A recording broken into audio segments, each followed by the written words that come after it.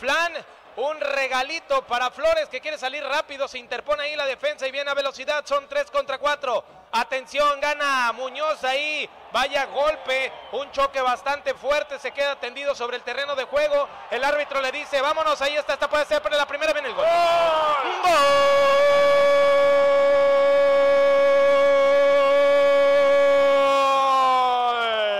Se apresura Rivaldo, gana el dulce, se pone abusado y ahí está el primero del Tampico Madero. Sí, es eh, fue un error del portero que fue bien aprovechado por nuestro delantero, que incluso se dio todavía el lujo de hacer una pequeña finta para pues horadar esta portería de la trinca fresera.